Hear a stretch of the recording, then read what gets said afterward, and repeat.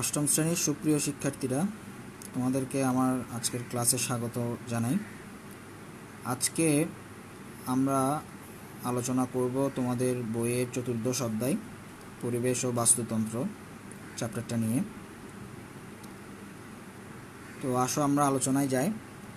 যে পরিবেশ ও বাস্তুতন্ত্র, এখানে দুটি শব্দ দেখতে পাচ্ছ, পরিবেশ এবং বাস্তুতন্ত্র। তো প্রথমে আমরা একটু পরিবেশ নিয়ে কথা বলি। পরিবেশ হলো আমাদের যা, চারপাশে যা আছে, তাই নিয়ে হচ্ছে পরিবেশ। তো পরিবেশে অনেক কিছুই আছে। গাছপালা, মানুষ, প্রাণী, বিভিন্ন রকমের প্রাণী। জড় উপাদান, জীব উপাদান, বিভিন্ন ধরনের উপাদান আমাদের পরিবেশে আছে। তো এই পরিবেশগুলো আবার বিভিন্ন রকমের হতে পারে। ধরো আমি যদি উদাহরণ দিই পুকুর, পুকুরের মধ্যে ধরো পানির বৈশিষ্ট্য যদি যে লোনা পানি অথবা স্বাদু পানি বা মিঠা পানি, তাহলে মিঠা পানির পুকুর স্বাদু পানির পুকুর, তাহলে এই পানির বিভিন্নতার উপর বা পানির ধরনের উপর ভিত্তি করে একটা পুকুরের পরিবেশ ভিন্ন হতে পারে। অথবা ধরো স্থলভাগ, স্থলভাগে যদি বলি সমতল ভূমির যে বনভূমি বা বনাঞ্চল অথবা পাহাড়ি বনাঞ্চল, তাহলে দেখো একটা সমতল ভূমি আর একটা হচ্ছে পাহাড়ি। বনাঞ্চল। তাহলে এই দুটি পরিবেশের মধ্যেও ভিন্নতা থাকতে পারে। তো পরিবেশ, এই পরিবেশের মধ্যে আবার বিভিন্নতা থাকতে পারে। কিন্তু দেখো, এই পরিবেশের মধ্যে যা উপাদান, জীব এবং অজীব বা জীব জড়, যাই বলি না কেন, সেগুলো কিন্তু স্বতন্ত্র। অর্থাৎ এই স্বতন্ত্র ধরনের জীব এবং অজীব উপাদান আমাদের পরিবেশে আমরা পেয়ে থাকি। তাহলে এখানে দুটি বিষয়। একটি হচ্ছে বিভিন্ন অর্থাৎ পরিবেশের ভিন্নতা, অর্থাৎ বিভিন্ন পরিবেশ এবং ওই পরিবেশের উপাদানগুলোর মধ্যে স্বতন্ত্রতা। খুবই গুরুত্বপূর্ণ দুটি বিষয় এবং এই স্বতন্ত্র ধরনের জীব এবং অজীব উপাদান নিয়ে আমাদের পরিবেশ। তাহলে দেখো, এই পরিবেশের মধ্যে যে আবার জীব এবং অজীব অথবা জীব জড় যাই বলছি, এই যে উপাদানগুলো পাওয়া যায়, এই উপাদানগুলোর মধ্যে আবার কিছু পারস্পরিক সম্পর্ক থাকে। অর্থাৎ প্রত্যেকটা পরিবেশের মধ্যেই বিভিন্ন জীব এবং জড় উপাদানের মধ্যে একটা ক্রিয়া প্রতিক্রিয়া কিংবা আদান প্রদানের একটা সম্পর্ক গড়ে ওঠে। তাহলে এই পরিবেশ ভেদে জীব অজীব উপাদানের মধ্যে যে এই সম্পর্ক তথা পারস্পরিক যে সম্পর্ক গড়ে ওঠে, সেটাই হচ্ছে একটি পরিবেশের বাস্তু সংস্থান বা বাস্তুতন্ত্র। তাহলে দেখো, বাস্তুতন্ত্রের সংজ্ঞা দিতে যদি যাই তাহলে আমরা কি লিখতে পারি? যে যে কোনো একটি নির্দিষ্ট পরিবেশের অজীব ও জীব উপাদান সমূহের মধ্যে পারস্পরিক ক্রিয়া, আদান প্রদান ইত্যাদির মাধ্যমে যে আন্তঃসম্পর্ক গড়ে ওঠে তাকে বাস্তুতন্ত্র বা বাস্তু সংস্থান বা ইকোসিস্টেম বলে। তাহলে দেখো, এখানে কয়েকটা বিষয় আমি উল্লেখ করছি।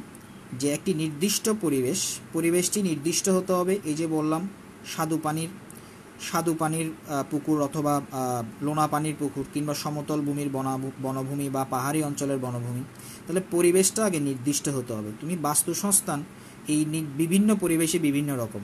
সেজন্য একটি বাস্তু সংস্থান তথা বাস্তুতন্ত্রের সংজ্ঞা দিতে যদি যাই, তাহলে অবশ্যই আমাদেরকে ওই পরিবেশটিকে নির্দিষ্ট করতে হবে। তাহলে যে কোনো একটি নির্দিষ্ট পরিবেশের অজীব ও জীব উপাদানসমূহের মধ্যে পারস্পরিক ক্রিয়া আদান প্রদান ইত্যাদির মাধ্যমে যে আন্তঃসম্পর্ক অর্থাৎ পারস্পরিক যে সম্পর্ক গড়ে ওঠে, তাকেই বাস্তুতন্ত্র বা বাস্তু সংস্থান কিংবা ইকোসিস্টেম বলে। আচ্ছা এরপর আমরা যদি যাই, দেখি যে বাস্তুতন্ত্রের যে উপাদান, এই বাস্তুতন্ত্রের উপাদানসমূহের মধ্যে আমরা দেখতে পাই অজীব উপাদান এবং জীব উপাদান। দুটি উপাদান পাওয়া যায় এবং এই বাস্তুতন্ত্রের যে অজীব উপাদানগুলো রয়েছে, সেগুলো যদি আমরা দেখি, তাহলে এখানে দুইটি প্রকারভেদ পাওয়া যায়। একটি হচ্ছে অজৈব বা ভৌত উপাদান, যার মধ্যে বিভিন্ন প্রকার খনিজ লবণ, যেটা মাটির নিচে পাওয়া যায়, কিংবা মাটি, আলো, পানি, বায়ু, তাপ, আর্দ্রতা। এই সমস্ত কিছুর মধ্যে এই যে বায়ু, তাপ, আর্দ্রতা, এগুলো হচ্ছে এক একটি পরিবেশীয় প্রভাব, পরিবেশীয় প্রভাবক। আচ্ছা পরিবেশীয় উপাদান বা আমরা যে অজীব উপাদান বা ভৌত উপাদান হিসাবে এই বিষয়গুলো জেনে থাকব। তাহলে আবার বলছি যে অজৈব কিংবা ভৌত উপাদান হিসাবে বিভিন্ন প্রকার খনিজ লবণ, যেগুলো আমরা মাটির নিচে পেয়ে থাকি, কিংবা মাটি, আলো, পানি, বায়ু, তাপ, আর্দ্রতা, এগুলো পরিবেশের ভৌত উপাদান হিসাবে চিহ্নিত হয়ে থাকে। আর জৈব উপাদান হিসাবে যদি আমরা একটু দেখি যে সকল জীবের মৃত ও গলিত দেহাবশেষ, এই বিষয়টিও মাটির সাথে মিশ্রিত অবস্থায় থাকে। কারণ আমাদের সকল ধরনের জীবের মৃত দেহ আমরা মাটিতে হয়তো পুঁতে ফেলি কিংবা কবর দিয়ে দিই অথবা জ্বালিয়ে দিই।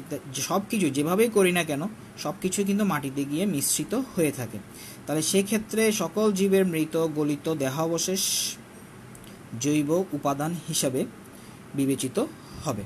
তাহলে আমরা জানলাম যে একটি বাস্তুতন্ত্রের অজীব উপাদানগুলো কি কি হতে পারে এবং অজীব উপাদানগুলোকে কি প্রকারে বিভক্ত করা যায়। এরপর আমরা দেখব যে একটি পরিবেশের জীব উপাদানগুলো কি কি। একটা বিষয় খেয়াল করবা যে এই জীব উপাদান তথা এই প্রত্যেকটি উপাদানের মধ্যে কিন্তু প্রাণ থাকবে। তাহলে দেখো, এই জীব উপাদানের মধ্যে আমরা তিনটি প্রকারে ভাগ করতে পারি জীব উপাদানকে। একটি হচ্ছে উৎপাদক, একটি খাদক, একটি হচ্ছে বিয়োজক। তাহলে উৎপাদক সমূহের মধ্যে আমরা যাদেরকে বিবেচনা করব, তা হচ্ছে সকল সবুজ উদ্ভিদ। অর্থাৎ সকল ধরনের সবুজ উদ্ভিদ হচ্ছে কোনো একটি বাস্তুতন্ত্রের উৎপাদক।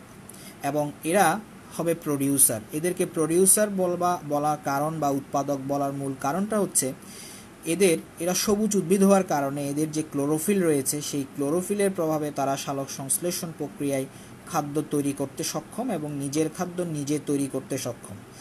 যার কারণে এই সকল সবুজ উদ্ভিদকে তথা কোনো একটি বাস্তুতন্ত্রের উৎপাদক সমূহকে আমরা স্ববোঝি বলতে পারি, তথা অটোট্রফিক বলতে পারি। স্ববোঝি আচ্ছা। এরপর দেখো, এই উৎপাদক সমূহের উপর নির্ভরশীল। এই যে কোনো একটি পারস্পরিক নির্ভরশীলতা বা আদান প্রদান যেটা বাস্তুতন্ত্রে গড়ে ওঠে, তো সেই উৎপাদক সমূহকে বক্ষণকারী কিছু খাদক রয়েছে, যে খাদকগুলোকে আমরা বলি কনজিউমার এবং এই খাদকগুলো আবার বিভিন্ন প্রকারে বিভক্ত। দেখো, বিভিন্ন ধরনের খাদক থাকতে পারে। এক হচ্ছে প্রথম স্তরের খাদক দ্বিতীয় স্তরের খাদক, তৃতীয় স্তরের খাদক কিংবা সর্বোচ্চ খাদক। এরপর রয়েছে বিয়োজক। আমরা একটি ইকোসিস্টেমের উদাহরণ দিয়ে এই উৎপাদক খাদক বিয়োজক সম্পর্কে আরও বিস্তারিত আলোচনায় যাব।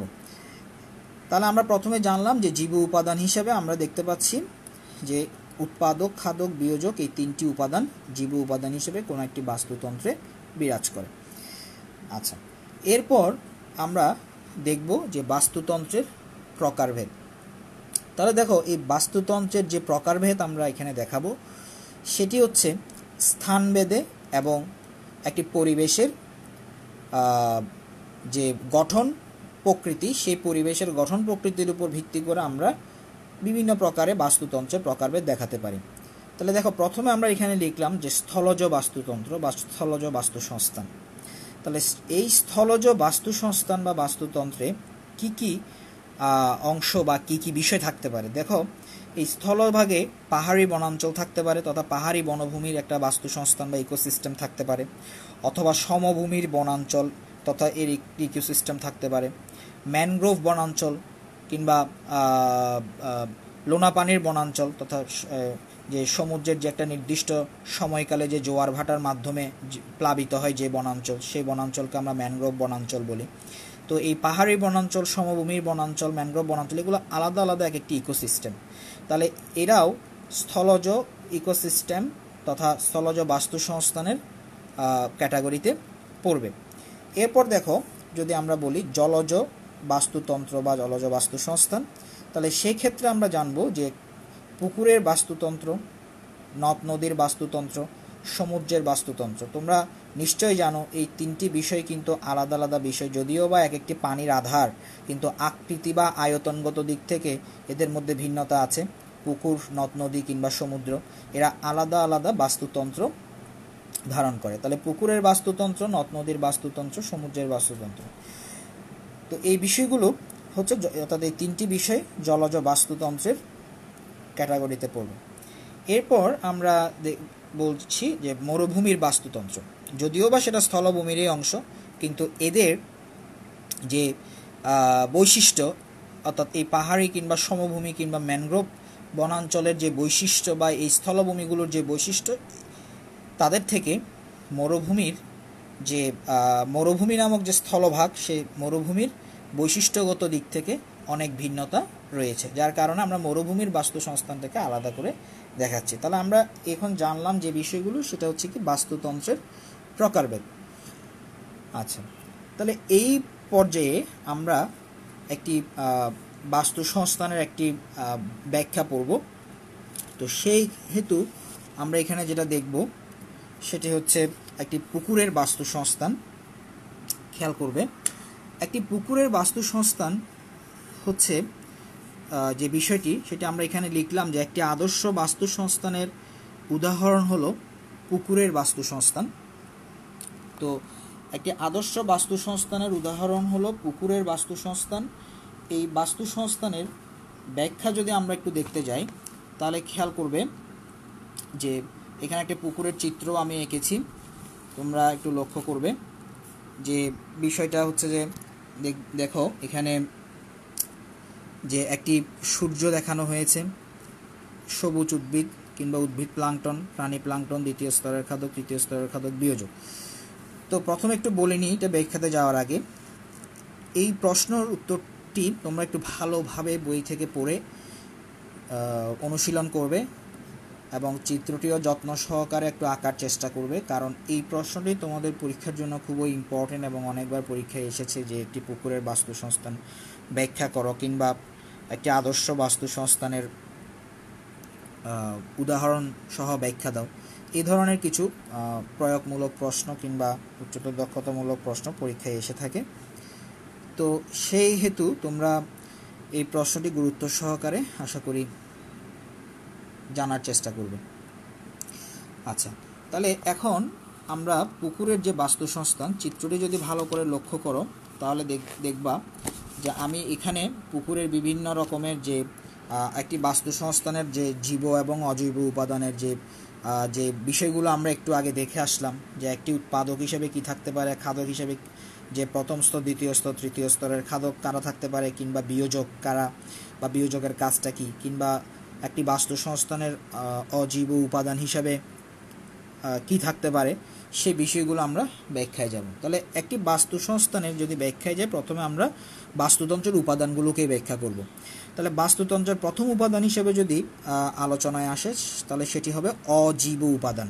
তাহলে একটি পুকুরে অজীব উপাদান কি থাকতে পারে? একটি পুকুরে অজীব উপাদান কি থাকতে পারে?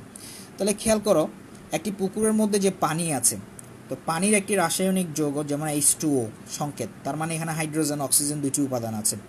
তাহলে খেয়াল করো এই পানি হচ্ছে পানির একটি অজীব উপাদান। এছাড়া দেখো, পানির মধ্যে যে অক্সিজেনটি আছে, সেটি হচ্ছে দ্রবীভূত অক্সিজেন। যে দ্রবীভূত অক্সিজেনটি এই পানির মধ্যে থাকা প্রাণীগুলো কিন্তু গ্রহণ করে। তাহলে সেই দ্রবীভূত অক্সিজেন, সেটাও একটি পানি, পুকুরের জন্য অজীব উপাদান। একইভাবে কিছু কার্বন ডাইঅক্সাইডও এই পুকুরের, এই পানির মধ্যে পাওয়া যায়। এছাড়া কিছু জৈব পদার্থও এই পানির মধ্যে পাওয়া যাবে। তাহলে আমরা অজীব উপাদানের ব্যাখ্যা দিতে গিয়ে এখানে যে ভৌত উপাদান হিসেবে যে বিষয়গুলো আমরা জানা জানব, সেটি হচ্ছে আলো, কারণ সূর্যালোক থেকে আলো এখানে পতিত হবে। আলোর কথা বলব, পানি এবং দ্রবীভূত অক্সিজেন এবং কার্বন ডাইঅক্সাইডের কথা বলব। আচ্ছা এরপর একই সাথে তুমি তাপমাত্রা কথাও উল্লেখ করতে পারো। অজীব উপাদান হিসেবে, আর জৈব উপাদান হিসেবেও পুকুরের পানিতে বিভিন্ন ধরনের উদ্ভিদ এবং প্রাণীর মৃত দেহাবশেষ মাটির সাথে গিয়ে মিশ্রিত হয়ে থাকে। তো সেই ক্ষেত্রে তোমাকে বলতে হবে যে পুকুরে এই জৈব উপাদানেরও কিছু জৈব পদার্থেরও উপস্থিতি পাওয়া যায়। নেক্সট আমরা এর বর্ণনায় যাব জীব উপাদান। তো জীব উপাদানের বর্ণনায় তোমাকে প্রথমেই ব্যাখ্যা করতে হবে উৎপাদক। তাহলে এখানে এই উৎপাদক হিসাবে তুমি যখন ব্যাখ্যা করবা, তখন প- প্রথমেই আসবে যে পানিতে ভাসমান ক্ষুদ্র ক্ষুদ্র কিছু উদ্ভিদ প্লাঙ্কটন তথা ফাইটোপ্লাঙ্কটন পাওয়া যায়। যে উদ্ভিদ প্লাঙ্কটনগুলো হচ্ছে পুকুরের বাস্তুসংস্থানে উৎপাদক হিসাবে কাজ করে। এছাড়া পুকুরের ভাসমান কিছু সবুজ উদ্ভিদ, সেটা লতা পাতা হতে পারে, বিভিন্ন শাক হতে পারে, কিংবা পুকুর পাড়ে অবস্থিত পানিতে অর্ধভাসমান অবস্থায় থাকা কিছু উদ্ভিদ হতে পারে। তো সেই উদ্ভিদগুলো এবং উদ্ভিদের উদ্ভিদের পাশাপাশি পুকুরের পানিতে ভাসমান অবস্থায় থাকা সবুজ উদ্ভিদগুলোকে আমরা বলতে পারি উৎপাদক। অর্থাৎ সবুজ উদ্ভিদ এবং উদ্ভিদ প্লাঙ্কটনগুলোই হচ্ছে আমাদের পুকুরের বাস্তুসংস্থানের উৎপাদক। তাহলে ভাসমান উদ্ভিদগুলোর মধ্যে কি থাকতে পারে? কচুরিপানা থাকতে পারে, শাপলা ফুল থাকতে পারে পদ্ম থাকতে পারে, বিভিন্ন রকমের কিছু ভাসমান সবুজ উদ্ভিদ থাকবে, বড় উদ্ভিদ থাকবে, যেগুলোকে আমরা উৎপাদক হিসেবে বিবেচনা করব। এরপর আমরা প্রথম স্তরের খাদক হিসেবে যদি ব্যাখ্যা করতে যাই, বা প্রথম স্তরের খাদক হিসেবে কাদের যদি মানে প্রথম স্তরের খাদক কারা সেই ব্যাখ্যায় যায় তাহলে তোমাকে বলতে হবে যে পুকুরের উপরের স্তরে ভাসমান কিছু জুও প্লাঙ্কটন বা প্রাণী প্লাঙ্কটন থাকে, যারা জুও উদ্ভিদের যে, উদ্ভিদ যে প্লাংটনগুলো আছে, সেগুলোকে বক্ষণ করে বেঁচে থাকে। তাহলে এই জুও প্লাঙ্কটনগুলো তোমার জুও প্লাঙ্কটনগুলো তোমার এই প্রথম স্তরের খাদক হিসেবে বিবেচিত হচ্ছে এই কারণে তারা এই যে উৎপাদক শ্রেণির যে প্লাঙ্কটনগুলো আছে সেগুলোকে খেয়ে বেঁচে থাকছে বলেই কিন্তু আমরা এই জুও প্লাঙ্কটনগুলোকে প্রথম স্তরের খাদক হিসেবে বিবেচনা করছি। এছাড়া এটাও হতে পারে যে বিভিন্ন প্রকারের জলজ কীটপতঙ্গ থাকতে পারে হ্যাঁ কিংবা ঝিনুক শামুক থাকতে পারে, যারাও যারা কিনা উৎপাদকদের খেয়ে বক্ষণ করে থাকতে পারে। তাহলে সেক্ষেত্রে ওই শামুক, ঝিনুক কিংবা যে ছোট কীটপতঙ্গ, তারা প্রথম স্তরের খাদক হিসেবে বিবেচিত হবে।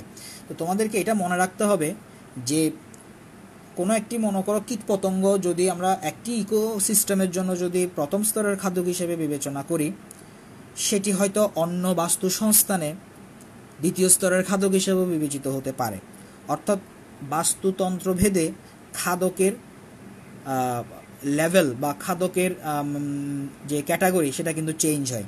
অর্থাৎ কোনো একটি বাস্তু সংস্থানে যদি কোনো একটি প্রাণী প্রথম স্তরের খাদক হিসেবে বিবেচিত হয়ে থাকে, সেই প্রাণীটি অন্য কোনো ইকোসিস্টেমে দ্বিতীয় স্তরের খাদক হিসেবে বিবেচিত হতে পারে।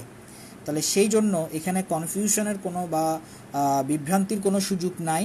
যেটা হচ্ছে কি, যে কোনো একটি প্রাণী যদি প্রথম স্তরের খাদ্য হিসেবে বিবেচিত হয়, সেটি শুধুমাত্র প্রথম স্তরের খাদ্য হিসেবেই থাকবে, তা কিন্তু নয়।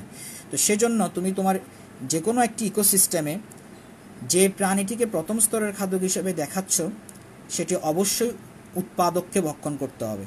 সেই শর্তটি পূরণ করতে হবে। তো উৎপাদককে ভক্ষণকারী যে কোনো প্রাণী কিন্তু প্রথম স্তরের খাদ্য হিসেবে বিবেচিত হবে। কিন্তু ওই প্রাণীটি এই ইকোসিস্টেমের জন্যই যে প্রথম স্তরের খাদক, সেটা কিন্তু নয়। সেটি অন্য আরেকটি ইকোসিস্টেমে দ্বিতীয় স্তরের খাদক হিসাবেও বিবেচিত হতে পারে। সেটি বিবেচনায় রাখতে হবে তোমাদের। আচ্ছা তাহলে এবার দেখো যে আমরা বলছিলাম যে প্রথম স্তরের খাদক হিসাবে আমি আমার এই চিত্রে যে প্রথম স্তরের খাদক হিসেবে প্রাণী প্লাঙ্কটন বা জুও প্লাঙ্কটনকে দেখাচ্ছি বা চিহ্নিত করেছি। দ্বিতীয় স্তরের খাদক হিসেবে যদি তুমি ব্যাখ্যায় যাও, তাহলে তোমার এই জায়গায় যে কিছু বড় মাছ ব্যাং চিংড়ি ইত্যাদি ইত্যাদি অনেকগুলো প্রাণী দ্বিতীয় স্তরের খাদক হিসেবে বিবেচিত হবে, যারা প্রথম স্তরের এই জুও প্লাংটনগুলোকে ভক্ষণ করে বেঁচে থাকে বা নির্ভর করে খাদ্যের জন্য। তাহলে আমরা এখানে একটি চিংড়ি দেখিয়েছি। তো এই চিংড়িটি হচ্ছে আমরা এখানে চিহ্নিত করেছি দ্বিতীয় স্তরের খাদক হিসেবে। তো সেটি দ্বিতীয় স্তরের খাদক হিসেবে বিবেচিত হবে কারণ তারা প্রথম স্তরের এই প্লাংটনগুলোকে খেয়ে বেঁচে থাকে। আচ্ছা এরপর দেখো আমরা তৃতীয় স্তরের খাদক হিসেবে যদি বিবেচনা করি, তোমরা এখানে দেখতে পাবা যে বিভিন্ন একটা বড় মাছ একে আমি এটা দেখানোর চেষ্টা করেছি তৃতীয় স্তরের খাদক। এবং এই মাছগুলো অনেক সময় দেখা যায় কি যে পুকুরের বিভিন্ন স্তরে যেতে পারে। তো বিভিন্ন স্তরে যাওয়ার পরিপ্রেক্ষিতে দেখা যায় হয়তো এই মাছটি প্রথম স্তরের খাদককে ভক্ষণ করেছে। তাহলে তুমি চিন্তা করে দেখো, ও যদি প্রথম স্তরের খাদককে ভক্ষণ করে থাকে, তাহলে এই মাছটি কিন্তু আবার দ্বিতীয় স্তরের খাদক হিসেবেও কিন্তু আচরণ করছে। তাহলে সেই জন্য যে কোনো ইকোসিস্টেমের খাদকের লেভেল কিন্তু চেঞ্জ হতে পারে, সেটা বিবেচনায় রাখবে। তাহলে আমরা এখানে তৃতীয় স্তরের খাদক হিসেবে বিবেচনায় করছি, কারণ এই বড় মাছ, এই চিংড়িকে ভক্ষণ করে বা খাদ্যের জন্য এর উপর নির্ভরশীল থাকে বলে আমরা এই মাছটিকে বলছি তৃতীয় স্তরের খাদক। তো এছাড়া কচ্ছপ, বিভিন্ন বা বক, সাপ, এরাও তৃতীয় স্তরের খাদক, কিন্তু আমরা সেটিকে তৃতীয় স্তরের খাদক হিসেবে বিবেচনা করব না। কারণ দেখো এখানে আমরা যদি একটি পুকুরের খাদ্য শৃঙ্খল যদি তোমাদের দেখাতে চাই তাহলে দেখবা যে এই শৈবাল বা ফাইটোপ্লাঙ্কটন জুওপ্লাঙ্কটন অর্থাৎ ফাইটোপ্লাঙ্কটনকে ভক্ষণ করছে জুওপ্লাঙ্কটন বা ছোট মাছ বা চিংড়িকে ভক্ষণ এ, জুওপ্লাঙ্কটন ভক্ষণ করে বেঁচে থাকছে বা নির্ভর করছে অথবা ছোট মাছ বা চিংড়ির উপর নির্ভর করে বড় মাছ বেঁচে থাকছে কিংবা এই বড় মাছকে খাচ্ছে কি বাজ পাখি। তাহলে আমরা যে খাদক যে একটা ক্যাটাগরি পড়ে এসেছি যে প্রথম স্তর, দ্বিতীয় স্তর, তৃতীয় স্তরের খাদক, এর বাইরে আরও একটি খাদক স্তর থাকে, যেটি হচ্ছে সর্বোচ্চ খাদক। সেটি একটি পরিবেশের যে খাদ্য পিরামিড, সেই খাদ্য পিরামিড ব্যাখ্যা করতে গেলে অবশ্যই সর্বোচ্চ খাদককে ব্যাখ্যা করতে হয়। যদিও খাদ্য পিরামিড তোমাদের সিলেবাসের অন্তর্ভুক্ত নয়, উপরের ক্লাসে এই সম্পর্কে বিশদ জানতে পারবে। তারপরও এখানে বলে রাখছি যে প্রথম স্তরের খাদক, দ্বিতীয় স্তরের খাদক কিংবা তৃতীয় স্তরের খাদক ছাড়াও আরও একটি খাদক স্তর আছে যেটি হচ্ছে সর্বোচ্চ খাদক হিসেবে পরিচিত। আচ্ছা তাহলে সেক্ষেত্রে এই পুকুর থেকে যদি উড়ন্ত কোনো বাজ পাখি এসে কোনো একটি মাছ শিকার করে নিয়ে যায় কিংবা বক এসে মাছ শিকার করে নিয়ে যায় তাহলে ওই বক কিংবা বাজ পাখি হবে এই পুকুরের জন্য সর্বোচ্চ খাদক। কিংবা মানুষ মাছ শিকার করে খাচ্ছে তাহলে সেক্ষেত্রে মানুষও হবে একটি কি? সর্বোচ্চ খাদক। তাহলে এক্ষেত্রে দেখো একটি পুকুরের বাস্তুসংস্থানে আমরা আলো আহ, জৈব উপাদ, জীব, অজীব উপাদান হিসেবে পাচ্ছি এবং সে হচ্ছে সকল শক্তির উৎস। তাহলে সেই সেই শক্তি থেকে এখানে যেটা পাওয়া যাচ্ছে যে সবুজ উদ্ভিদগুলো আলো গ্রহণ করে সালোক সংশ্লেষণ প্রক্রিয়ায় খাদ্য তৈরি করছে তথা অটোট্রফিক বা সবুজি বলে এদেরকে উৎপাদক শ্রেণীতে রাখা হচ্ছে। এছাড়া ফাইটোপ্লাঙ্কটনগুলো পুকুরের পানিতে ভাসমান ফাইটোপ্লাঙ্কটনগুলো উৎপাদক হিসেবে বিবেচিত হবে এবং জুও প্লাঙ্কটন হবে প্রথম স্তরের খাদক প্রাণী প্লাংটন বা জুও প্লাঙ্কটন হবে প্রথম স্তরের খাদক। চিংড়ি হচ্ছে দ্বিতীয় স্তরের খাদক এবং বড় মাছ তৃতীয় স্তরের খাদক। এরপর দেখো, পুকুরের যে তলায় অর্থাৎ একেবারে বটম লেয়ারে কিছু তোমার হচ্ছে যে ব্যাকটেরিয়া ভাইরাস ছত্রাক এর মিশ্রণ থাকে, যেগুলো এই জৈব উপাদানগুলোর মৃত দেহাবশেষ, দেহাবশেষকে গলিত করতে কিংবা পচাতে সাহায্য করবে। তাহলে সেই ভাইরাস ছত্রাক ব্যাকটেরিয়াগুলোকে আমরা বলছি বিয়োজক। এবং এটি হচ্ছে একটি মাটির লেয়ার যেখানে বিয়োজক শ্রেণির কার্যকারিতায় এই জৈব উপাদানগুলোর দেহাবশেষ মাটির সাথে মিশ্রিত হবে।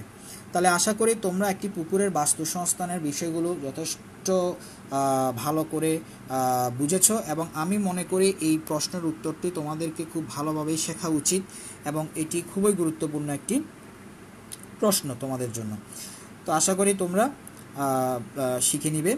এরপর আমি একটু সংক্ষিপ্ত করে একটু বিষয় যে আলোচনায় যাব সেটি হচ্ছে আমাদের যে তোমাদের যে ম্যানগ্রোভ ইকোসিস্টেম তথা যে সুন্দরবনের যে বাস্তুসংস্থান সেই বাস্তুসংস্থানের একটু বিষয় আমরা আলোচনায় যেতে চাচ্ছি। কারণ স্থলজ বাস্তুসংস্থানের একটি বিষয় তোমাদের যে বইতে রয়েছে তো সেই স্থলজ বাস্তু সংস্থানের আহ, এই- এই বাস্তু সংস্থান যদি ব্যাখ্যায় যায় প্রথমে আমরা বলতে পারি যে কি ওই যে সিলেট বা পার্বত্য চট্টগ্রামের বনাঞ্চল তথা পাহাড়ি বনাঞ্চল কিংবা খুলনার সমুদ্র উপকূলবর্তী সুন্দরবন সুন্দরবন অঞ্চল অথবা সমতল ভূমির বিভিন্ন পাহাড়ি বনাঞ্চল, যেটা লোকালয়ে আমরা দেখে থাকি।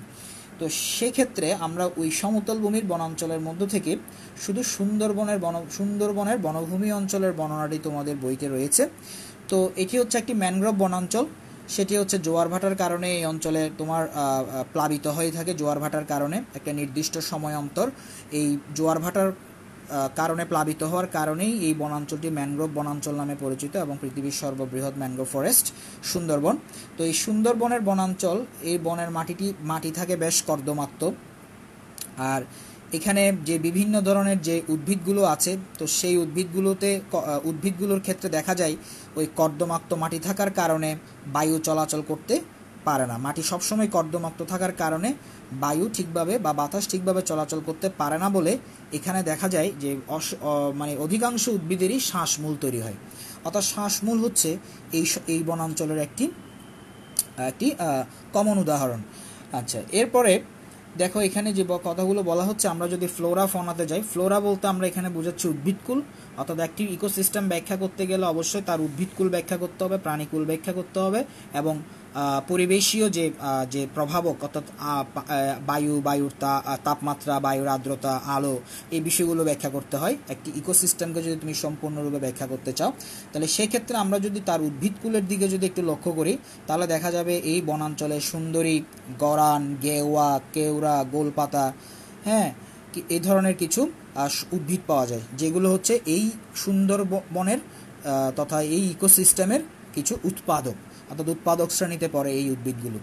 তো এছাড়া দেখো বিভিন্ন ধরনের পোকামাকড় থাকতে পারে, পাখি, মুরগি, হরিণ, এই ধরনের যে প্রাণীগুলো, সেগুলো তারা হচ্ছে যে কি, তারা যেহেতু শাকাশি, অর্থাৎ তারা উদ্ভিদ ভক্ষণ করে, তথা উৎপাদক ভক্ষণ করে, তাহলে সেক্ষেত্রে আমরা পোকামাকড়, পাখি, মুরগি কিংবা হরিণকে প্রথম স্তরের খাদ্য হিসাবে বিবেচনায় রাখতে পারি, অর্থাৎ সুন্দরবন সুন্দরবন বনাঞ্চলের জন্য। এরপরে দেখো বানর, কচ্ছপ কিংবা সারস ইত্যাদি হচ্ছে দ্বিতীয় স্তরের খাদক, যেটা প্রথম স্তরের যে খাদকগুলো রয়েছে তাদেরকে খাদ্যের জন্য তাদের উপর নির্ভরশীল। এছাড়া কিছু যে, তোমার এই বনের তৃতীয় স্তরের খাদক হিসেবে যদি আমরা বলি যে বাঘ কিংবা শুকর, এই ধরনের যে প্রাণীগুলো রয়েছে তারা তৃতীয় স্তরের খাদক হিসেবে বিবেচিত হবে, কারণ তারা দ্বিতীয় স্তরের খাদকদের উপর খাদ্যের জন্য নির্ভরশীল।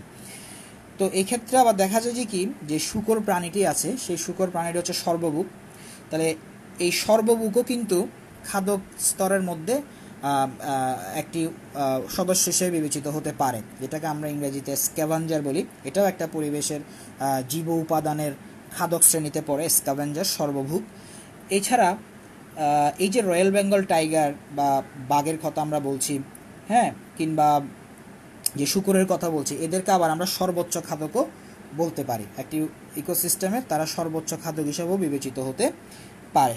এছাড়া ওই বনাঞ্চলে বিভিন্ন রকমের চিত্রল হরিণ পাওয়া যায় কিংবা বানর পাওয়া যায়, কুমির পাওয়া যায় হ্যাঁ বিভিন্ন রকমের সাপ কিংবা বিভিন্ন ধরনের পাখি পাওয়া যায়।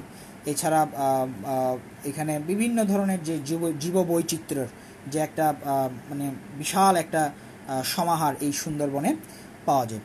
তো এই সুন্দরবনের যে বাস্তুসংস্থান বা ইকোসিস্টেম সেটাও আমরা যে স্থলজ বাস্তুসংস্থানের একটি উদাহরণ হিসাবে একটু পড়ে নিব। অনেক সময় এই বিষয়টিও পরীক্ষায় এসে থাকে যে স্থলজ বাস্তুতন্ত্রের বর্ণনা দাও। আচ্ছা এরপর আমরা নেক্সট যে টপিক্সটাতে যাব, সেটি হচ্ছে খাদ্য শৃঙ্খল এবং খাদ্য জাল। তো খেয়াল করো, আমরা যদি খাদ্য শৃঙ্খল বিবেচনা করি, তো খাদ্য শৃঙ্খলটি আসলে গঠিত হয় বাস্তু সংস্থানে অর্থাৎ একটি পরিবেশের যে বাস্তু সংস্থান বা বাস্তুতন্ত্র, সেই বাস্তুতন্ত্রেই কিন্তু খাদ্য শৃঙ্খল গঠিত হয়। তাহলে আমরা যেহেতু জানলাম যে বাস্তুতন্ত্রগুলো এক এক পরিবেশে এক এক রকম, তাহলে অবশ্যই খাদ্য শৃঙ্খলগুলো এক এক পরিবেশে এক এক রকম হবে। তাহলে খাদ্য শৃঙ্খল বিষয়টা কি? আমরা যদি একটু দেখি যে উদ্ভিদ উৎস তথা উৎপাদক উৎস থেকে শুরু করে বিভিন্ন প্রাণীর মধ্যে একে অন্যকে খাওয়ার মাধ্যমে আমরা এই যে দেখলাম উৎপাদককে বক্ষণ করছে প্রথম স্তরের খাদক, দ্বিতীয় স্তরের এরপর দ্বিতীয় স্তরের খাদক, এরপর তৃতীয় স্তরের খাদক, এরপর চতুর্থ স্তরের সর্বোচ্চ খাদক। তো এই যে বিষয়গুলো যে জানলাম, তো এই বিষয়গুলো থেকে আমাদের কাছে একটা বিষয় পরিষ্কার যে যে এই একটা ইকোসিস্টেমের মধ্যে বিভিন্ন আঙ্গিকে বিভিন্নভাবে খাদ্যে খাদ্যের একটা কি হয়? স্থানান্তর ঘটে। ওই খাদ্যের স্থানান্তরটা কীভাবে? একে অন্যকে খাওয়ার মাধ্যমে এবং এর মাধ্যমে আবার শক্তিরও স্থানান্তর ঘটে। তাহলে ব্যাপারটা দাঁড়াচ্ছে, উদ্ভিদ উৎস তথা উৎপাদক উৎস থেকে শুরু করে বিভিন্ন প্রাণীর মধ্যে একে অন্যকে খাওয়ার মাধ্যমে শক্তির যে স্থানান্তর ঘটে, তাই হচ্ছে খাদ্য শৃঙ্খল। আবার বলছি খুবই ইম্পর্ট্যান্ট এবং তোমার সংজ্ঞার মধ্যে যদি শক্তির বিষয়টি উল্লেখ না থাকে, তাহলে অবশ্যই তুমি জিরো পাবে এবং এই জন্য তোমাকে শক্তির বিষয়টি অবশ্যই অবশ্যই উল্লেখ করতে হবে যে উদ্ভিদ উৎস তথা পাদক উৎস থেকে শুরু করে বিভিন্ন প্রাণীর মধ্যে একে অন্যকে খাওয়ার মাধ্যমে শক্তির যে স্থানান্তর ঘটে তাই হচ্ছে খাদ্য শৃঙ্খল। তাহলে দেখো, বিভিন্ন বাস্তু সংস্থানের খাদ্য শৃঙ্খলের সংযুক্তিকে আবার বলা হয় খাদ্য জাল। তাহলে আমরা দুটি চিত্রের মাধ্যমে শৃঙ্খল এবং জাল উভয়ই দেখার চেষ্টা করব। তো আবার বলছি, বিভিন্ন বাস্তুসংস্থানে এই যে বিভিন্ন রকম খাদ্য শৃঙ্খলগুলো গড়ে ওঠে, তাদের তাদের ওই খাদ্য শৃঙ্খলের সংযুক্তিকে বলা হচ্ছে খাদ্যজাল। তাহলে আমি এখানে দেখাচ্ছি একটি খাদ্য শৃঙ্খল যেখানে দেখানো হয়েছে ঘাস, যেটি হচ্ছে উৎপাদক। এরপরে দেখানো হচ্ছে পতঙ্গ, যেটি হচ্ছে প্রথম স্তরের খাদক। এরপর দেখানো হচ্ছে ব্যাং যেটি হচ্ছে দ্বিতীয় স্তরের খাদক। এরপর দেখানো হচ্ছে সাপ, এটি হচ্ছে তৃতীয় স্তরের খাদক। এরপর দেখানো হচ্ছে ইগল যেটি হচ্ছে সর্বোচ্চ খাদক। অর্থাৎ এখানে ঘাসের উপর পতঙ্গ নির্ভরশীল, পতঙ্গের উপরে ব্যাং নির্ভরশীল, ব্যাঙের উপর সাপ নির্ভরশীল, সাপের উপর ইগল নির্ভরশীল। অর্থাৎ এরা একে অন্যকে খাওয়ার মাধ্যমে তারা তাদের শক্তি অর্জন করে থাকে এবং নিজেরা নিজেদের যে প্রজাতি, সে প্রজাতি সংরক্ষণ করে। তাহলে খেয়াল করবা, এই যে ঘাস, পতঙ্গ ব্যাং সাপ ইগল হ্যাঁ এই ক্ষেত্রে আমরা প্রত্যেকটা জিনিস, অর্থাৎ একটা বাস্তু সংস্থানের যে উপাদানগুলো, তথা উৎপাদক, জীব উপাদান, উৎপাদক, প্রথম প্রথম স্তরের খাদক, দ্বিতীয় স্তরের খাদক তৃতীয় স্তরের খাদক, সর্বোচ্চ খাদক, এই খাদকগুলোর মাধ্যমে একটা শৃঙ্খল তৈরি করলাম। তাহলে পরবর্তী চিত্রটা যদি তুমি দেখতে চাও, দেখতে যাও, তাহলে দেখবা আমি এখানে তিনটি খাদ্য শৃঙ্খল দেখিয়েছি পরপর। এবং তিনটি খাদ্য শৃঙ্খলে ঘাস হচ্ছে আমাদের উৎপাদক। এবং সেক্ষেত্রে আমি একটা জিনিস বলে রাখি, তিনটি খাদ্য শৃঙ্খলে কিন্তু একটি ইকোসিস্টেমে তৈরি হতে পারে বা আমরা ধরে নিই, যদি ধরে নিই এই তিনটি ইকোসি তিনটি খাদ্য শৃঙ্খলে একই ইকোসিস্টেমে তৈরি, অথবা এটাও ধরে নিতে পারি যে এই তিনটি খাদ্য শৃঙ্খল আলাদা তিনটি বাস্তু সংস্থানের অর্থাৎ আলাদা তিনটি বাস্তু সংস্থান বলতে এটা এরকমও হতে পারে, ধরো তুমি যে পরিবেশে বসবাস করছ, তুমি সেই পরিবেশের এই তিনটি খাদ্য শৃঙ্খলেই তৈরি হতে পারে। মনে করো তুমি যে এলাকায় বসবাস করো, তার পার্শ্ববর্তী এলাকা কিংবা তার পার্শ্ববর্তী এলাকা। দেখো, প্রত্যেকটা কিন্তু একই জোনের মধ্যে পড়ে কিংবা একই অঞ্চলের মধ্যে পড়ে কিংবা একই জেলার মধ্যে পড়ছে। কিন্তু দেখো আলাদা আলাদা তিনটা এলাকা, কিন্তু ওই তিনটা এলাকার মধ্যে এই তিনটা বাস্তু সংস্থান কিন্তু প্রযোজ্য। অর্থাৎ তিনটা বাস্তু সংস্থান আলাদা আলাদাভাবে গঠিত হতে পারে। তাহলে যেহেতু আলাদা আলাদাভাবে তিনটি বাস্তু সংস্থান গঠিত হতে পারে, তাহলে ওই বাস্তু সংস্থানে অবশ্যই আলাদা আলাদা তিনটি খাদ্য শৃঙ্খল থাকতেই পারে। তাহলে আমরা যেটা বলছি, এই বাস্তু এই খাদ্য শৃঙ্খলগুলোকে তুমি একই বাস্তু সংস্থানেরও ধরতে পারো অথবা ভিন্ন বাস্তু সংস্থানেরও ধরে নিতে পারো। তাহলে খেয়াল করো, এই ঘাস যেটা আমরা বলছি যে খরগোশ এবং ইগল তাহলে দেখো, এই যে খাদ্য শৃঙ্খলটা, তার মধ্যে মাত্র তিনটা উপাদান। একটা হচ্ছে ঘাস, একটা খরগোশ, একটা ইগল যেখানে ঘাস হচ্ছে প্রথম স্তরের খাদক, আবার ধরো খরগোশ হচ্ছে সরি ঘাস হচ্ছে উৎপাদক, খরগোশ হচ্ছে প্রথম স্তরের খাদক। সেই ক্ষেত্রে এবার দেখো ইগল ইগল হচ্ছে, একটু আগে বলে আসছি, সর্বোচ্চ খাদক। কিন্তু এই খাদ্য শৃঙ্খলে তুমি দেখো ইগল হচ্ছে একটা দ্বিতীয় স্তরের খাদক। তাহলে আমরা এখান থেকে পরিষ্কার একটা বিষয় যেটা হয়, সেটা হচ্ছে যে কি, এই প্রাণীগুলো তোমার শৃঙ্খল ভেদে কিংবা বাস্তু সংস্থান ভেদে তারা কিন্তু খাদ্য স্তরের লেভেল চেঞ্জ করতে পারে। যে ইগলটি একটি ইকোসিস্টেমে, একটি খাদ্য শৃঙ্খলে সর্বোচ্চ খাদ্য হিসেবে বিবেচিত হচ্ছে, সেই ইগলই কিন্তু এই খাদ্য শৃঙ্খলে দ্বিতীয় স্তরের খাদ্য হিসেবে বিবেচিত হচ্ছে। ক্লিয়ার? তাহলে দেখো, এই ঘাস, পরবর্তী খাদ্য শৃঙ্খলটা যদি দেখো, ঘাস হ্যাঁ এটা যদি উৎপাদক হয়, তাহলে পতঙ্গ প্রথম স্তরের খাদক ব্যাং দ্বিতীয় স্তরের খাদক ইগল হচ্ছে তৃতীয় স্তরের খাদক। তাহলে তুমি দেখতে পাচ্ছ, এই খাদ্য শৃঙ্খলে ইগল হচ্ছে তোমার তৃতীয় স্তরের খাদক, যে কিনা আগের খাদ্য শৃঙ্খলে ছিল দ্বিতীয় স্তরের খাদক। তুমি যদি তৃতীয় খাদ্য শৃঙ্খলটি লক্ষ্য করো, তাহলে দেখতে পাবা যে এখানে যেটা বলা হচ্ছে যে ঘাস, পতঙ্গ পতঙ্গ প্রথম স্তরের খাদক ব্যাং দ্বিতীয় স্তরের সাপ, তৃতীয় স্তর এবং গুইসাপ এটা হচ্ছে চতুর্থ স্তর কিংবা আমরা সর্বোচ্চ খাদক হিসাবেও নিতে পারি। এই ছাড়া ইগল ইগলও সর্বোচ্চ খাদ্য অর্থাৎ একটা ইকোসিস্টেমে একটা খাদ্য শৃঙ্খল অনেক দীর্ঘ হতে পারে। তো সেটারও একটা প্রমাণ এই বা একটা উদাহরণ এই শৃঙ্খলের মাধ্যমে তোমাদের দেখালাম। তাহলে দেখো ইগল এক্ষেত্রে সর্বোচ্চ খাদ্য গুইসাপও সর্বোচ্চ খাদ্য কিন্তু গুইসাপকেও ইগল কি করতে পারে? খাদ্য হিসেবে গ্রহণ করে নিতে পারে। তাহলে দেখো, একটা খাদ্য শৃঙ্খলের মধ্যে অবশ্যই তাদের যে উপাদানগুলো থাকবে, সেই উপাদানগুলোর তাদের খাদ্য স্তরের পরিবর্তন হতে পারে। তাহলে এখন দেখো, এই পাশাপাশি তিনটি খাদ্য শৃঙ্খলে দেখা যাচ্ছে এই ইগল যখন খরগোশ ভক্ষণ করছে, তাহলে খরগোশের সাপেক্ষে সে তখন দ্বিতীয় স্তরের খাদক। একইভাবে এই ইগল যখন ব্যাংকে ভক্ষণ করছে, তখন দেখা যাচ্ছে অপর একটি খাদ্য শৃঙ্খলের মধ্যে থাকা ব্যাংকে যখন ভক্ষণ করছে, তখন দেখা যাচ্ছে ইগল এই জায়গায় তৃতীয় স্তরের খাদ্য তাহলে খেয়াল করো, এভাবে তাদের যে খাদ্য গ্রহণ করার মাধ্যমে এক এক সদস্য অপর আরেকটি খাদ্য শৃঙ্খলের সদস্যকে খাদ্য হিসেবে গ্রহণ করার কারণে এই শৃঙ্খলগুলোর মধ্যে একটা সংযুক্তি ঘটে।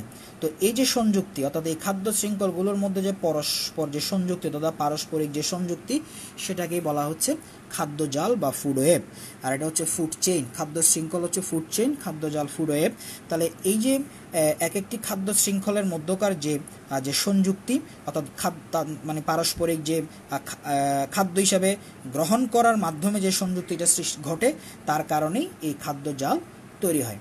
তাহলে বিষয়টা তোমাদের কাছে আশা করি পরিষ্কার হয়েছে যে খাদ্য শৃঙ্খল কী এবং খাদ্য জাল কি। এবং পরীক্ষায় প্রশ্ন আসে, খাদ্য জাল কি বা খাদ্য শৃঙ্খল কি কিংবা খাদ্য শৃঙ্খল বলতে কি বুঝো? হ্যাঁ আর একটি খাদ্য জাল বলতে কি বুঝো? তো খাদ্য শৃঙ্খল নিয়ে তোমাদের কিছু প্রয়োগমূলক প্রশ্ন আছে। তো সেই প্রয়োগমূলক প্রশ্ন কি হতে পারে সেটা পরবর্তীতে আমি আলোচনায় আসছি। আশা করি তোমরা খাদ্য শৃঙ্খল এবং খাদ্য জাল বিষয়ে যা যা যা বিষয়গুলো আমি বললাম, আশা করি বুঝেছ।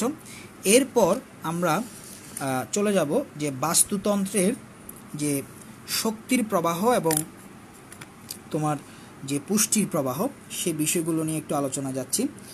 তো খেয়াল করো, এখানে ইকোসিস্টেমের ক্ষেত্রে তোমার অর্থাৎ যে খাদ্য শৃঙ্খলটি গঠিত হয়, সে খাদ্য শৃঙ্খলে শক্তির প্রবাহও ঘটে, আবার পুষ্টির প্রবাহও ঘটে। কিন্তু প্রবাহগুলো কীরূপ হতে পারে বা প্রবাহগুলোর প্রকৃতি বা ধর্ম কীরূপ হতে পারে, সে বিষয়গুলো সম্পর্কে আমরা বিস্তারিত জানব। তাহলে সৌরশক্তি হচ্ছে আমাদের আলটিমেট পাওয়ার যেটা হচ্ছে যে তোমার একটি যে শক্তির আধার বা শক্তির উৎস, সেটা হচ্ছে সূর্য। তাহলে সেই সৌরশক্তি উৎপাদক গ্রহণ করবে। তাহলে আমরা একটা বিষয় বলে দিই যে আমাদের সকল শক্তির যেহেতু মূল উৎস বলছি সূর্য, তাহলে সূর্য থেকে পৃথিবীতে যে আলোটি আসে, আবার বলছি সূর্য থেকে পৃথিবীতে যে আলোটি আসে, তার মাত্র। তার মাত্র শতকরা দুই ভাগ সবুজ উদ্ভিদ শালক সংশ্লেষণের মাধ্যমে কাজে লাগিয়ে শর্করা জাতীয় খাদ্য উৎপাদন করে। আবার বলছি সূর্যের আলো যত আলো পৃথিবীতে আসে, তার মধ্যে মাত্র শতকরা দুই ভাগ, অর্থাৎ টু পার্সেন্ট আলো উদ্ভিদ গ্রহণ করে সালোক সংশ্লেষণের মাধ্যমে কাজে লাগিয়ে তোমার শক্তি অর্থাৎ জাত সরকার জাতীয় খাদ্য উৎপাদন করে। অর্থাৎ এই যে প্রাকৃতিক যে তোমার প্রক্রিয়া, এই যে এই যে সৌরশক্তি গ্রহণ করা বা সালোক সংশ্লেষণের মাধ্যমে এই প্রাকৃতিক প্রক্রিয়ায় সৌরশক্তিটা রাসায়নিক শক্তিতে রূপান্তরিত হয়। অর্থাৎ সালোক সংশ্লেষণ প্রক্রিয়ায় সৌরশক্তি রাসায়নিক শক্তিতে রূপান্তরিত হয়। তাহলে খেয়াল করো, যখন সৌরশক্তি উৎপাদক গ্রহণ করে, তো সেই উৎপাদক থেকে শক্তিটা চলে যাচ্ছে তৃণভোজী প্রাণীতে। তৃণভোজী প্রাণী থেকে চলে যাচ্ছে মাংসাশী প্রাণীতে, মাংসাশী প্রাণী থেকে আসছে বিয়োজকে। তাহলে এই বিষয়টা আমি একটু ক্লিয়ার করি। দেখবা যে এখানে বলা হচ্ছে উৎপাদক থেকে তৃণভোজী প্রাণীতে, আবার মাংসাশী প্রাণীতে। অর্থাৎ এখানে তুমি ধরে নাও, তৃণভোজী প্রাণীটি হচ্ছে প্রথম স্তরের খাদক। ঠিক আছে? যেহেতু তারা উৎপাদককে বক্ষণ করছে। এরপর যে বিষয়টি আসছে সেটি হচ্ছে মাংসাশী প্রাণী। তো তুমি ধরে নাও মাংসাশী প্রাণীদের দ্বিতীয় স্তর, তৃতীয় স্তর কিংবা সর্বোচ্চ খাদক আছে। ধরে নাও হ্যাঁ যে উৎপাদক, উৎপাদকের জায়গায় আছে তৃণভোজী প্রাণী, সেটি হচ্ছে প্রথম স্তরের খাদক, কিংবা মাংসাশী প্রাণীতে আমরা ধরে নিব প্রথম স্তর, দ্বিতীয় স্তর, তৃতীয় স্তরের খাদক আছে। বা যে কোনো একটি উদাহরণ এখানে বা যে কোনো একটি প্রাণী এখানে আছে বলে ধরে নাও। তাহলে দেখো, এরপর সেই মাংসাশী প্রাণী থেকে হবে বিয়োজক। অর্থাৎ মাংসাশী প্রাণীটি যখন মারা যাবে, তখন সেটি যখন মাটির সাথে মিশ্রিত হবে এবং মাটির সাথে মিশ্রিত হবে এখানে বিয়োজক হিসাবে কে কাজ করবে? বিভিন্ন ব্যাকটেরিয়া কিংবা ছত্রাক। তাহলে খেয়াল করে আমরা একটু বিষয় যে এখানে উপরে যে বিষয়টি লেখা, দেখানো হয়েছে যে শ্বসন ক্রিয়ায় বিনষ্ট শক্তি অর্থাৎ উৎপাদক থেকেও এখানে দেখানো হচ্ছে শ্বসন ক্রিয়ায় বিনষ্ট শক্তি, তৃণভোজী প্রাণী থেকেও দেখানো হচ্ছে, তৃণভোজী থেকেও দেখানো হচ্ছে শ্বসন ক্রিয়ায় বিনষ্ট শক্তি, কিংবা মাংসাশী থেকেও দেখানো হচ্ছে যে শ্বসন ক্রিয়ায় বিনষ্ট শক্তি। ঠিক আছে? তার মানেটা কি? তার মানেটা হচ্ছে এখানে যে উৎপাদক শ্বসন প্রক্রিয়ায় কিছু শক্তি হারায়, একইভাবে তৃণভোজী প্রাণীও শ্বসন ক্রিয়ায় কিছু শক্তি হারায়, মাংসাশী প্রাণীও শ্বসন ক্রিয়ায় কিছু শক্তি হারায় একইভাবে বিয়োজক শ্বসন প্রক্রিয়ায় কিছু শক্তি হারাবে। তাহলে খেয়াল করো, এই যে শক্তি উৎপাদক থেকে তৃণভোজী প্রাণী অর্থাৎ উৎপাদককে বক্ষণ করছে হ্যাঁ? তাহলে দেখো, তৃণভোজী প্রাণী যখন উৎপাদককে বক্ষণ করে, তাহলে এই উৎপাদকে থাকা সমস্ত শক্তি কিন্তু তৃণভোজী প্রাপ্ত হওয়ার কথা বা তৃণভোজীরা প্রাপ্ত হওয়ার কথা। কিন্তু এই তৃণভোজী প্রাণী উৎপাদকের সর্বোচ্চ শক্তিটা বা যে সকল শক্তিটা কিন্তু পায় না। কেন? কারণ এখানে উৎপাদক, তার কিছু শক্তি এই বিনষ্ট হয়ে যায়। একইভাবে উৎপাদক থেকে যদি তোমার তৃণভোজী প্রাণীরা যে শক্তিটা পাচ্ছে, সেই শক্তিটাও তৃণভোজী প্রাণীরা সম্পূর্ণ ধারণ করে রাখতে পারে না। কারণ এই তৃণভোজী প্রাণী, প্রাণীদের ক্ষেত্রেও শ্বসন ক্রিয়ায় কিছু শক্তি বিনষ্ট হয়। এখানে শ্বসন ক্রিয়ায় বিনষ্ট শক্তি, এটাকে যদি আরেকটু বিস্তারিত যদি বলি, সেটা হচ্ছে আসলে বিপাকীয় প্রক্রিয়া। অর্থাৎ কোনো একটি প্রাণী তার যে প্রাণীর মধ্যে আলাদা আলাদাভাবে বিপাকীয় প্রক্রিয়া ঘটে থাকে, তো বিপাকীয় প্রক্রিয়ার শক্তির কিছুটা অপচয় ঘটে। একইভাবে মাংসাশী প্রাণীও তাদের দেহের ভর অনুযায়ী, তাদের আকৃ, আকার আকৃতি অনুযায়ী তাদের শক্তির একটা নির্দিষ্ট হারে বিনষ্ট হয়। তো সেক্ষেত্রে মাংসাশী প্রাণী তৃণভোজী প্রাণীকে বক্ষণ করার মাধ্যমে তৃণভোজী প্রাণী থেকেও সম্পূর্ণ শক্তিটা লাভ করে না।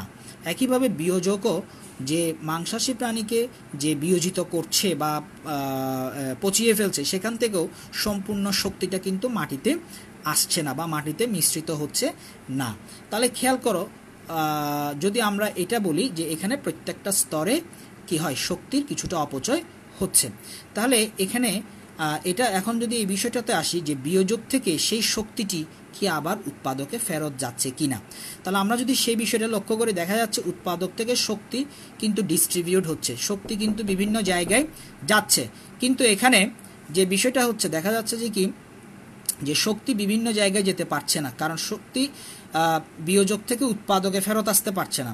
তো যে কথাটা বলছিলাম, উৎপাদক থেকে বিভিন্ন শক্তি বিভিন্ন জায়গায় কিন্তু বিস্তৃত হচ্ছে।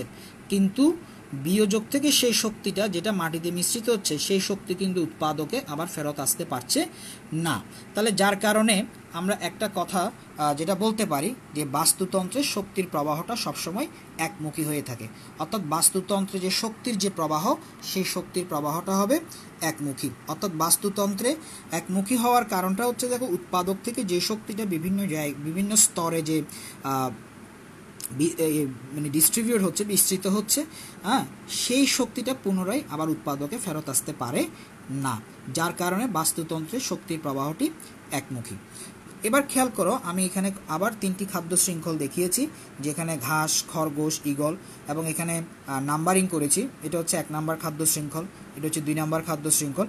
এটা হচ্ছে তিন নাম্বার খাদ্য শৃঙ্খল। তাহলে আমরা যদি এই বিষয়টি একটু লক্ষ্য করি, আমরা বলছি প্রতিটি স্তরেই কিন্তু শক্তির অপচয় হচ্ছে। তাহলে তুমি যদি একটা বিষয় খেয়াল করো, যে এখানে ঘাস থেকে ইগলে যদি শক্তির হিসাব মানে পৌঁছানোর হিসাব যদি পরিমাণ, পরিমাপ করি, একইভাবে ঘাস থেকে এই শৃঙ্খলের ইগলের ইগলের কাছে শক্তি পৌঁছানোর যদি পরিমাপ করি, কিংবা এই শৃঙ্খলে ঘাস ঘাস থেকে বিভিন্ন স্তর অতিক্রম করে ইগলের শক্তি পৌঁছানোর পরিমাণ যদি পরিমাপ করি, তাহলে দেখা যাবে যে এখানে প্রত্যেকটা শৃঙ্খলের ক্ষেত্রে প্রথম যে খাদ্য শৃঙ্খলটি, সেখানে শক্তির অপচয় কম হবে। কারণ এখানে খাদ্য স্তর সংখ্যা কম। একইভাবে দ্বিতীয় স্তরে প্রথম প্রথম খাদ্য শৃঙ্খল থেকে দ্বিতীয় খাদ্য শৃঙ্খলে শক্তির অপচয় একটু বেশি হবে। কেন? কারণ এখানে খাদ্য স্তর বেশি। আবার একইভাবে তোমার তিন নম্বর যে খাদ্য শৃঙ্খল, সেখানে শক্তির অপচয় আরও বেশি হবে। কেন? কারণ এখানে খাদ্য স্তর এর সংখ্যা আরও বেশি। তাহলে আমরা এখান থেকে একটা কথা বলতে পারি যে বাস্তুতন্ত্রে খাদ্য শৃঙ্খলের আকার যত ছোট, শক্তির অপচয় তত কম। আবার বলছি বাস্তুতন্ত্রে খাদ্য শৃঙ্খলের আকার যত ছোট, শক্তির অপচয় তত কম। তাহলে এই বিষয়টি যে, যেটা পরিষ্কার যে, একটি খাদ্য বাস্তুতন্ত্রে খাদ্য শৃঙ্খল যত ছোট হবে, শক্তির অপচয় তত ছোট যত কম হবে, একইভাবে খাদ্য শৃঙ্খলে তোমার হচ্ছে যে কি, যে আকার যত বড় হবে, শক্তির অপচয় তত, আকার যত বড় হবে, শক্তির অপচয় তত বেশি হবে। তাহলে এই বিষয়গুলো একটু, বিষয়টা যদি ক্লিয়ার করি, যে আবার বলছি যে বাস্তুতন্ত্রের বাস্তুতন্ত্রে যে বিষয়টি হচ্ছে খাদ্য শৃঙ্খলের আকার যত বড়, তত হচ্ছে যে কি, আকার যত বড় হবে, শক্তির অপচয় তত বেশি হবে, আর আকার যত কম ছোট হবে, শক্তির অপচয় তত কম হবে। তাহলে বিষয়টি, আশা করি তোমরা বুঝেছ যে বাস্তুতন্ত্রের শক্তির প্রবাহ যে এক, একমুখী, সেই বিষয়টিও বুঝেছ, এবং খাদ্য শৃঙ্খলের উপর ভিত্তি করে যে শক্তির অপচয় বেশি হওয়া বা কম হওয়া সেই বিষয়টিও তোমরা নিশ্চয়ই বুঝেছ। তো আমি যে কথাটা আগে একটু আগে বলে এসেছিলাম যে খাদ্য শৃঙ্খলে কেন্দ্র করে কিছু প্রশ্ন পরীক্ষায় এসে থাকে, তো এই যে প্রশ্নটা, দেখো যে যে খাদ্য শৃঙ্খলের আকার যত বেশি হয় বা আকার যত ছোট হয়, শক্তির অপচয় তত কম হয়, ব্যাখ্যা করো। কিংবা খাদ্য শৃঙ্খলের আকার যত বড় হবে, শক্তির অপচয় তত বেশি হয়, ব্যাখ্যা করো। এই ধরনের প্রশ্নগুলো প্রয়োগমূলক আকারে পরীক্ষায় এসে থাকে। তো এইভাবে তোমরা একটু প্রিপারেশন নিবা। তো এরপর আমরা পরবর্তী যে বিষয়টাতে যাব, সেটা হচ্ছে পুষ্টির প্রবাহ। তাহলে একটু লক্ষ্য করো যে পুষ্টির প্রবাহের যে বিষয়টা বলা হচ্ছে যে একইভাবে যে সৌরশক্তি থেকে উৎপাদক যে গ্রহণ করছে সূর্য শক্তি গ্রহণ করার পর উৎপাদক নিজের খাদ্য নিজে তৈরি করছে, তো তার উপরে ডিপেন্ড করছে তৃণভোজী প্রাণী, তার উপর ডিপেন্ড করছে মাংসাশী, তার উপর ডিপেন্ড করছে বনগল বিয়োজক তাহলে খেয়াল করো, এখানে যখন উৎপাদককে তৃণভোজী প্রাণী বক্ষণ করে, তখন কিন্তু উৎপাদক থেকে সমস্ত পুষ্টি কিন্তু তৃণভোজী প্রাণী পাচ্ছে। কিন্তু শক্তি পাচ্ছে না। অর্থাৎ সম্পূর্ণ শক্তিটা না পেলেও সম্পূর্ণ পুষ্টিটি কিন্তু তৃণভোজী প্রাণী পাচ্ছে। একইভাবে তৃণভোজী প্রাণীকে মাংসাশী প্রাণী ভক্ষণ করার পরিপ্রেক্ষিতে তৃণভোজী প্রাণী থেকে সম্পূর্ণ শক্তিটা না পেলেও হ্যাঁ কেন? কারণ এখানে দুইটি স্তরের শক্তির অপচয় হয়ে যাচ্ছে, কিন্তু পুষ্টির কোনো অপচয় হচ্ছে না। তাহলে তৃণভোজী প্রাণীকে গ্রহণ করার পরিপ্রেক্ষিতে দেখা যাচ্ছে মাংসাশী প্রাণী সেই পুষ্টিটি গ্রহণ করে থাকে। একইভাবে মাংসাশী প্রাণী বিয়োজকের প্রভাবে বিয়োজিত হয়ে যখন মাটিতে মিশ্রিত হচ্ছে, তখন এই সমস্ত পুষ্টিটি কিন্তু মাটিতে গিয়ে মিশ্রিত হচ্ছে। তাহলে এই যে মাটিতে মিশ্রিত হয়, তো এই মাটিতে মিশ্রিত হলে বিয়োজকের মাধ্যমে এই সমস্ত পুষ্টি কিন্তু মাটিতে এসে মিশ্রিত। তো এখানে এই পুষ্টি ভাণ্ডার বলতে সেই মাটিকেই বোঝানো হচ্ছে এবং সেই পুষ্টি ভাণ্ডার থেকে অর্থাৎ উৎপাদক পুনরায় তার পুষ্টি গ্রহণ করে। অর্থাৎ বিভিন্ন যে খনিজ লবণগুলো তারা যে মূলের মাধ্যমে মাটি থেকে গ্রহণ করে থাকে, সে পুষ্টিগুলো উৎপাদকে পুনরায় ফিরে আসে।